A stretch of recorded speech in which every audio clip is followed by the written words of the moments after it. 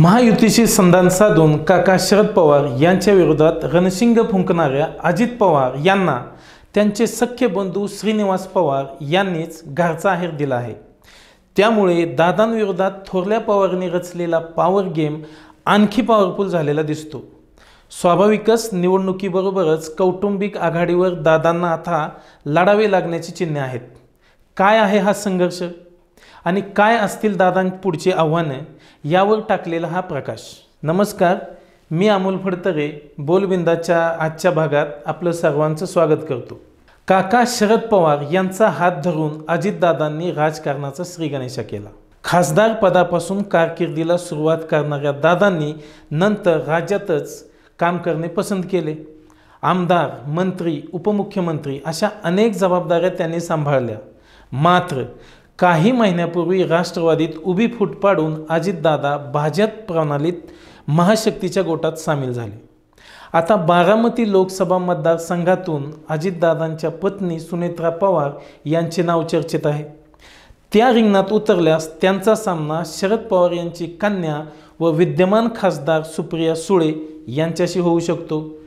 तरी देखील खरी लढाई ही शरद पवार विरुद्ध अजित पवार अशीच असणार आहे याची जाणीव असलेल्या अजितदादांनी मध्यंतरी कुटुंबातून आपल्याला एकटे पाडले जाईल असे वक्तव्य केले होते. आणि दादांनी म्हटल्याप्रमाणे कुटुंबातील एक एक सदस्य टप्प्याटप्प्याने शरद पवार यांच्या पाठीशी उभा राहतोय. आमदार रोहित पवार पुतणे युगेंद्र पवार यांच्यानंतर श्रीनिवास पवार शर्मिला पवार यांनीही शरद पवार यांनाच साथ देणं पसंत केले पवार साहेबांनी तुम्हाला पंचवीस वर्ष मंत्री केलं चार वेळा उपमुख्यमंत्री केलं तरीसुद्धा काकांनी माझ्यासाठी काय केलं असं म्हणायचं? माझ्या बाबतीत असं झालं असतं तर मी खुश झालो असतो. अशा शब्दात त्यांनी मारलेले शाब्दिक बाण दादांच्या वर मी घाव लागणारे ठरतायत. वय झालेल्या व्यक्तीची किंमत नसणं यासारखा नालायकपणा नाही. पण लक्षात ठेवा वय वाढले म्हणून तुम्ही वयस्कर माणसाला कमजोर समजू नका. हा इशारा श्रीनिवास पाटील यांनी दादाला दिलेला चर्चेचा विषय बनला आहे याशिवाय दादांच्या वहिनींनीही त्यांचे चांगलेच कान टोचलेले आपल्याला पाहायला मिळतात. कुटुंबात भांड्याला भांडं लागतंच. मात्र कुटुंबात कधी घडलं नाही ते आत्ता घडते आमच्या कुटुंबाची ओळख आहे ती पवार साहेबांमुळे. त्यांनी काय केले असा प्रश्न विचारणे म्हणजे आई वडिलांनी आपल्यासाठी काय केले असं म्हणण्यासारखं आहे. अशा शब्दात शर्मिला पवार यांनी दादांना कानपिचक्या दिल्यात पुतणे युगेंद्र पवार यांनी यापूर्वीच दादांविरोधी सूर आवळत पवार स आजोबांच्या मागे आपली शक्ती उभी केली. कुणाला एकटे वगैरे पाडलेले नाही असे स्पष्ट करताना सुप्रिया सुळे याच कार्यक्षम खासदार असल्याचे कौतुक उद्गारही त्यांनी काढले होते. दुसऱ्या बाजूला आमदार रोहित पवार यांच्या मातोश्री तथा ॲग्रिकल्चर डेव्हलपमेंट ट्रस्टच्या विश्वस्त सुनंदा पवार यांनीही आपले ननंद सुप्रिया सुळे यांच्या प्रचारासाठी मैदानात उतरलेत. पुढच्या टप्प्यात कुटुंबातील अन्य सदस्य सुप्रियांच्या प्रचारार्थ बारामती मतदारसंघात उतरलेले आपल्याला पाहायला मिळतील. असे बोललेही जात आहे. मुळात अजितदादांचा भाजपशी सोयरीक करण्याचा निर्णय पवार कुटुंबियातील बहुतांश सदस्यांना पटलेला नाही. पवार साहेबांनी राजकारणाची बाराखडी शिकवली वेगवेगळी पदे दिली जबाबदाऱ्या दिल्या.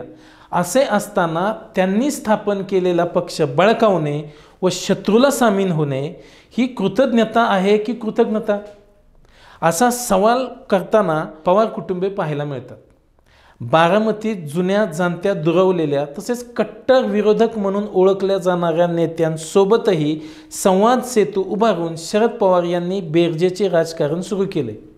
या राजकारणाला बऱ्यापैकी यशही येताना दिसते राजकीय समीकरणाबरोबरच कौटुंबिक समीकरणे जुळवण्यातही पवार यशस्वी झालेले बघायला मिळतात. पण या उलट दादांसोबत केवळ त्यांच्या पत्नी सुनेत्रा पवार व दोन सुपुत्र पार्थ व जय हेच आहेत. त्यामुळे दादांनी म्हटल्याप्रमाणे ते कौटुंबिक पातळीवर खरोखरच एकाकी पडत असल्याचे चित्र आहे. पवार कुटुंबातील प्रत्येक सदस्य हा या ना त्या माध्यमातून समाजकारणात कार्यरत आहे. काहींची संस्थात्मक जाळे असून बारामतीतील विविध समाज घटकांशी देखील ही मंडळी कनेक्टेड आहेत म्हणून त्यांचे एक वेगळं मतांचं पॅकेट्सही आहे. हे पाहता मतांच्या गणितावर ते परिणाम करू शकतात. कुटुंबियांचा हा पॉवर गेम दादांचा खेळ संपवणार का? याचे उत्तर निकालानंतरच मिळेल. तुम्हाला हा व्हिडिओ कसा वाटला हे आम्हाला कमेंटद्वारे नक्की कळवा. जय महाराष्ट्र.